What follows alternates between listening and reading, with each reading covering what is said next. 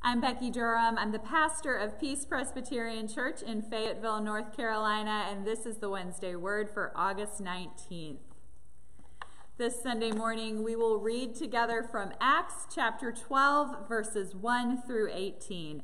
Listen now for the Word of God. About that time, King Herod laid violent hands upon some who belonged to the church. He had James, the brother of John, killed with the sword. After he saw that it pleased the Jews, he proceeded to arrest Peter also. This was during the festival of unleavened bread. When he had seized him, he put him in prison and handed him over to four squads of soldiers to guard him, intending to bring him out to the people after the Passover. While Peter was kept in prison, the church prayed fervently to God for him. The very night before Herod was going to bring him out, Peter, bound with two chains, was sleeping between two soldiers, while guards in front of the door were keeping watch over the prison. Suddenly, an angel of the Lord appeared, and light shone in the cell. He tapped Peter on the side and woke him up, saying, Get up quickly. And the chains fell off his wrist. The angel said to him, Fasten your belt and put on your sandals. He did so.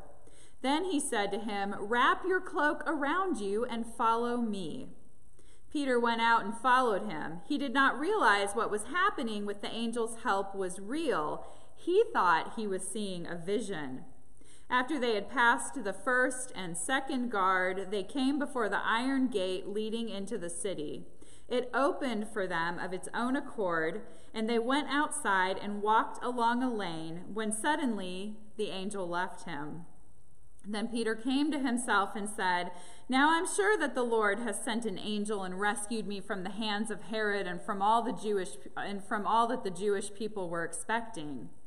As soon as he realized this, he went to the house of Mary, the mother of John, whose other name was Mark, where many had gathered and were praying. When he knocked on the outer gate, a maid named Rhoda came to answer. On recognizing Peter's voice, she was so overjoyed that instead of opening the gate, she ran in and announced that Peter was standing at the gate. They said to her, You are out of your mind.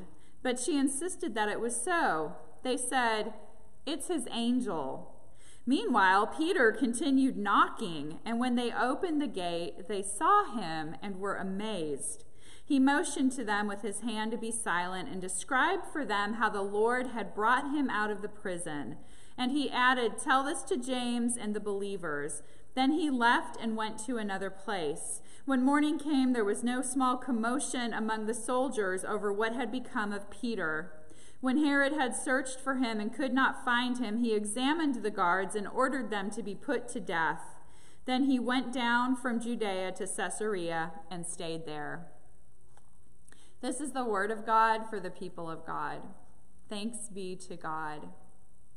This coming Sunday, Peace Presbyterian Church will gather on Zoom around 11 o'clock. We have a time of gathering at 1045, and we begin our worship service at 1105. We would love to have you join us, and if you would like to, we invite you to come to our church website, Peace pcnc.org, or comment on this video, reach out to us in some way and we will get you that link information.